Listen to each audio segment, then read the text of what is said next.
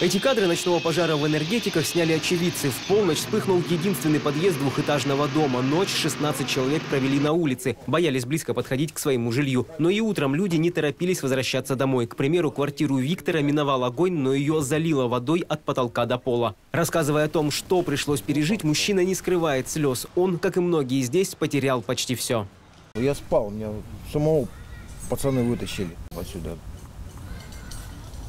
Я уже, уже бабушка лежала, вот эти вот там целлофан, что там лежал белый, тени. Все, больше я понятия не имею. Это вот все, что осталось. О, от пенсии моей. Вчера пенсию получили. Погибшая 84-летняя бабушка жила в одной из квартир на втором этаже. Соседи говорят, пенсионерка, видимо, услышала странные звуки и открыла дверь в подъезд. Пламя втянуло в комнату и смертельно обожгло старушку. Остальные жильцы травм не получили. И женщина со второго этажа, тетя Валя, она хотела прыгать.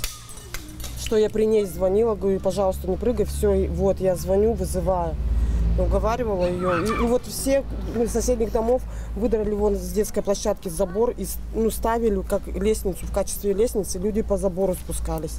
Площадь пожара составила 70 квадратов. Его причины называют неосторожное обращение с огнем. Пламя прошло по дверям, стенам, окнам и трубам. Везде стоит удушливый запах гари, от которого першит в горле. Дом и так был не в лучшем состоянии, а как теперь тут жить и вовсе непонятно. Хотя дом и стоит, но фактически ночной пожар его полностью уничтожил. Сильно повреждена лестница, ведущая на второй этаж. Ступени в любой момент могут провалиться и совершенно неясно, как людям попадать к себе в квартиры. В плачевном состоянии перекрытия, а также стены, которые были залиты водой во время тушения.